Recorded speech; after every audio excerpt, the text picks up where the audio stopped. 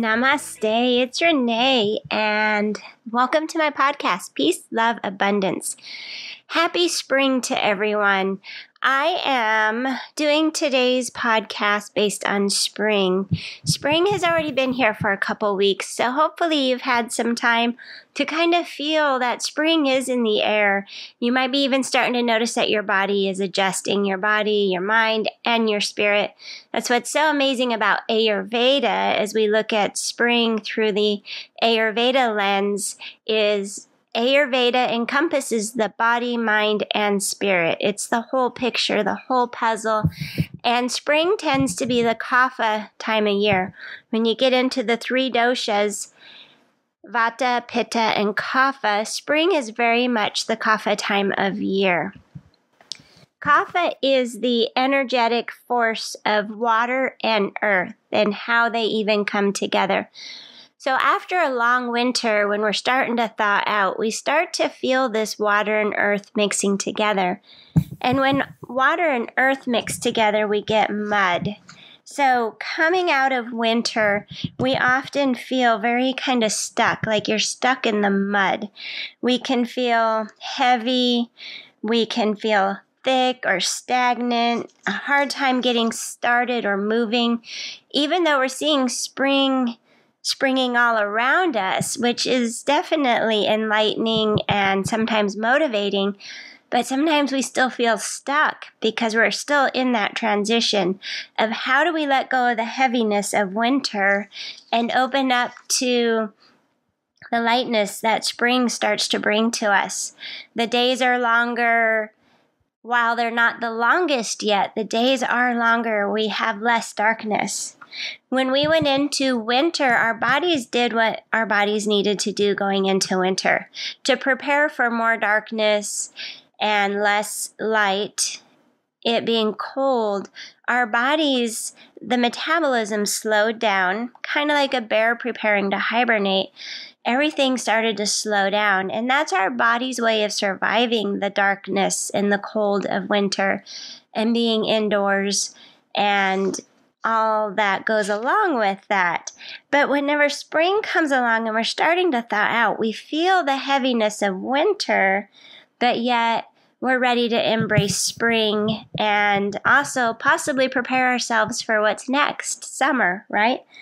Anyways, let's not jump too far ahead but talking a little bit more about how we need to reduce some of the kapha because this time of year is the kapha time of year so even if you don't tend towards kapha on a normal basis or that isn't quite the dosha that you usually relate with kapha can come in and be a part of our lives this time of year whether it is part of our daily dosha or not. It is in all of us as we start to melt and warm up.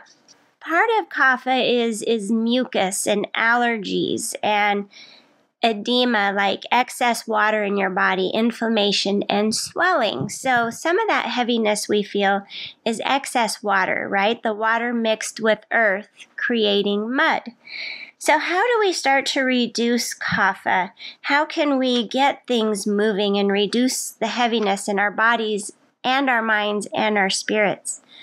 What I mean by that, even in our minds and in our spirits, we might feel a little bit lethargic, unmotivated, even defeated, some depression. Winter, the heaviness of winter can bring on some of the depression. And by spring, we're just kind of over it. We're over all the depression, but we're not quite sure how to cleanse that. While the lightness is definitely refreshing, how do we truly transition into full spring and the lightness of it and letting go of some of this depression. This depression is still a presence of kapha in our bodies and feeling waterlogged and holding on to too much weight after a long winter. Our bodies naturally did take on weight. Don't worry about it. It's completely natural. We all go through it through winter. We take on a little bit of weight for that hibernation and to survive. But now it's time to let go of some of that heaviness.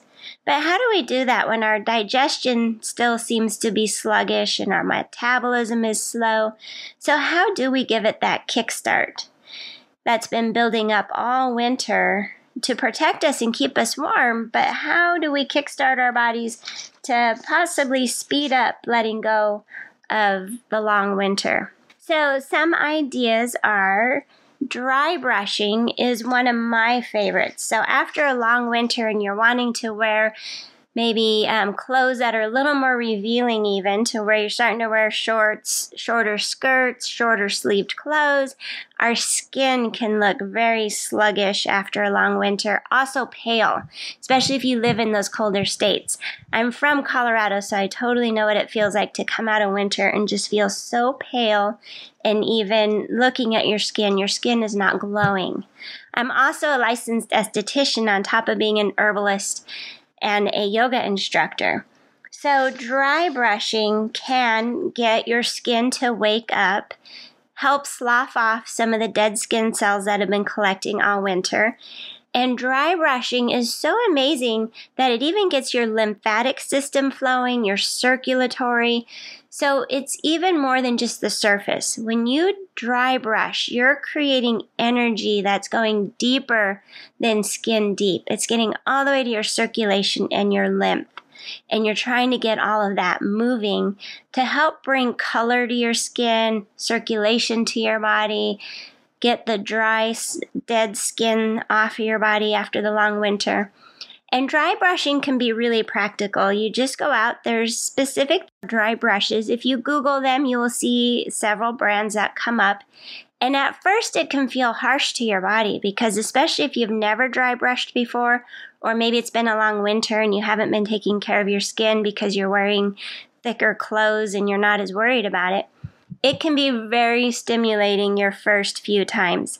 For some people, that stimulation stays pretty hypersensitive all the time and yet it can become a little bit addictive because that stimulation, you know that there's something going on, right? It's that feeling of um, stimulating your body and feeling very much alive.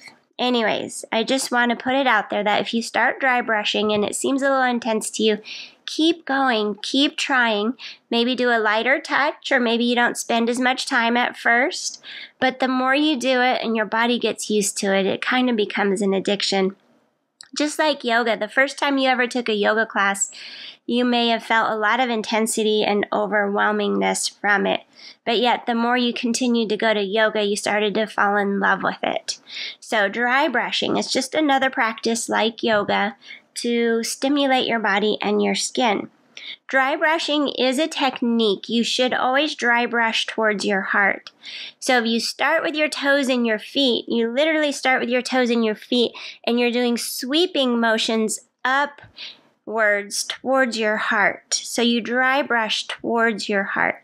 This you can also Google. Not only can you Google what a dry brush is or looks like, but you can Google a technique. There's several YouTube videos out there on how to do it. But if you don't need the visual and you understand the theory of dry brushing towards your heart, so once you've done one leg from the toes all the way up into your hips, do the other leg from your toes all the way up into your hips. When you do your arms, you go from the fingers and sweep up all the way up into your shoulders even your torso. So if you're going to do your backside, you're sweeping from your glutes up towards your heart. And if you're going to sweep your neck a little bit, obviously you're going down, right? So you're going to sweep from the, the nape of your, your neck and skull where they meet. You're going to dry brush down towards your heart. That's really kind of the only place you brush downward is anything above your heart, obviously, right? Stomach, also, I highly encourage you dry brush your stomach in a circular motion from right to left. This also helps encourage digestion. Digestion moves through your body right to left. So do a few swipes around the middle of your belly, your intestines, and such, where all those organs are.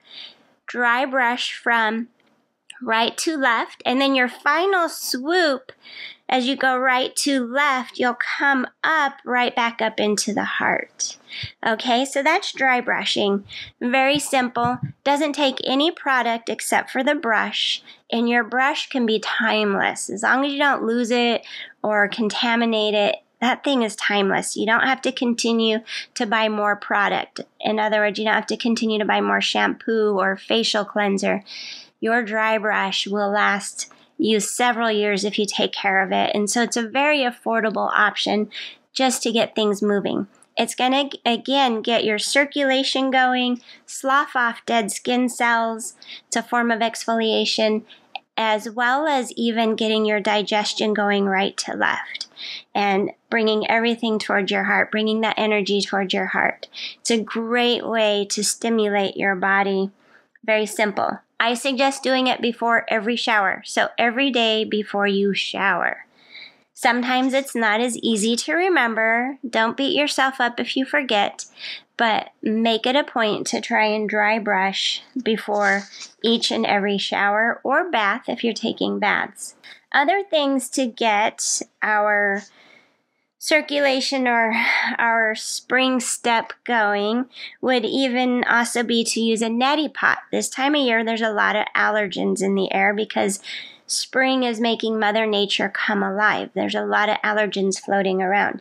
So, a neti pot, go ahead, run some uh, saline through your sinuses and clean out your sinuses with the neti pot. Any pollens that are starting to build up in your sinuses, or anything stagnant from winter after having seasonal colds and even indoor allergies or mold allergies this time of year, along with the snow melting or rains coming in, there's a little bit more mold this time of year.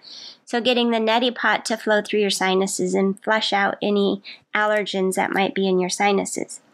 And then, speaking of allergens, allergens like pollen are protein. One reason why our bodies react to it is because our bodies aren't capable of breaking down that protein. And so enzymes, there's such thing as enzymes. We naturally have enzymes in our belly. But after a long winter when our metabolism and our digestion slows down, then the enzymes in our belly may not be quite at peak performance to be able to digest protein and also aller- allergens as far as uh, pollen, molds, all of that stuff is protein. So, focusing on digestion in your belly. The dry brushing again, I mentioned, do a few circles right to left to get your digestion going. You could actually take enzymes if you want. Now, this is going to require you going out and buying some enzymes, but there are enzymes out there that you can take in supplement form to help speed up your digestion. You can also add more spices to your cooking, even warming spices, ginger, cayenne, black pepper, peppers in general. Uh, cumin, onion, garlics, leeks, turmeric, anything you can do to kind of up the pungency of your food, and that often stimulates the enzymes, natural enzymes in your belly to help you break down protein. Also, moving on, another one of my big favorites is tongue scraping. So, as you're promoting these enzymes to break down pollen and protein and molds in your body, after all of that has been digested, we need to eliminate, right? We eliminate through several channels. There's our endocrine, skin, our bowels, bladder, lungs are also a big, huge eliminative channel. Women, our menses, our monthly period is a form of cleansing. We monthly let go of that lining. If you ever notice that your flow, your menstruation is a little bit heavier this time of year, it can be partly because your body has some excess to get rid of after the long winter. It's a form of cleansing and elimination. Also, your tongue might have a little extra thickness on it, like mucus and buildup from your body digesting and wanting to cleanse and let go and eliminate. So I highly suggest tongue scraping. I even did a whole podcast on tongue scraping.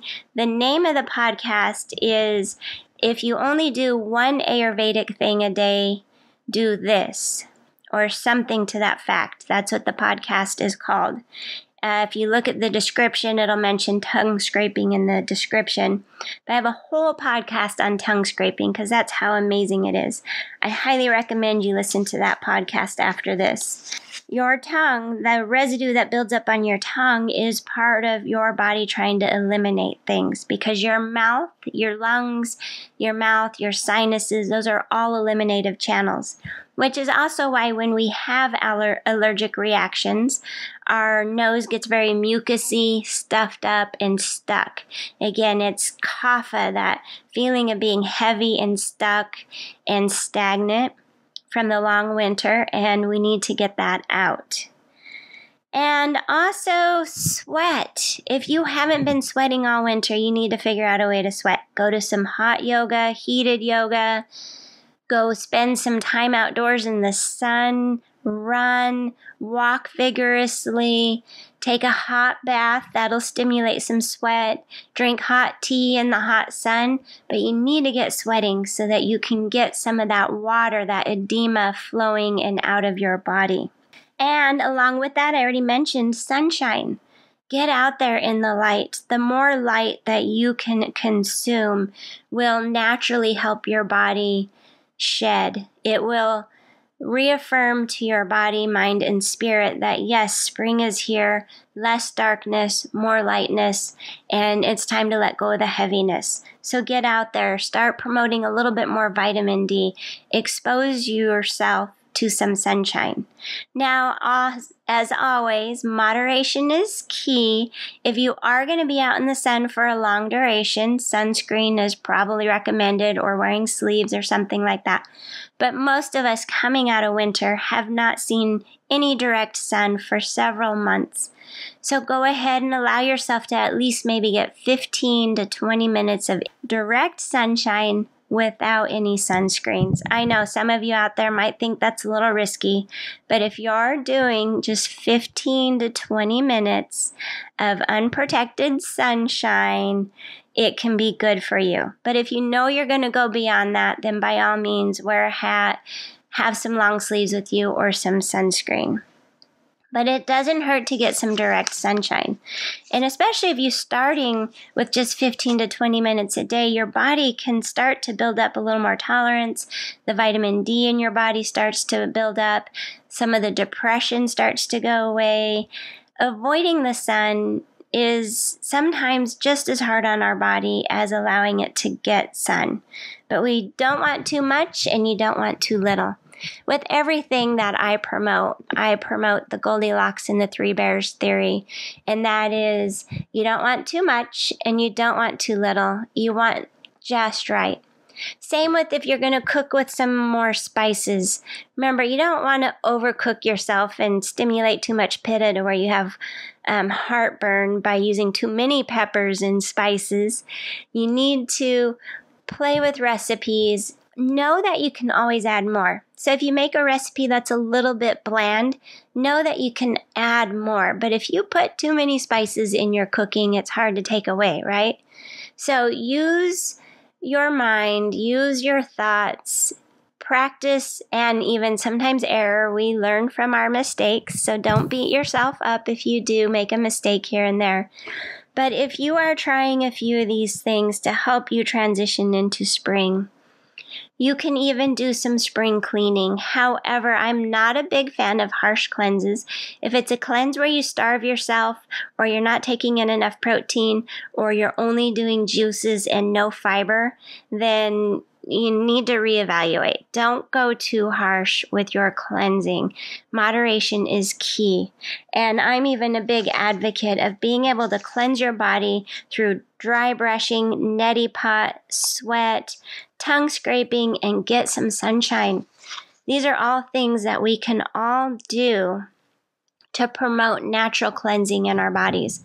Our bodies know how to cleanse.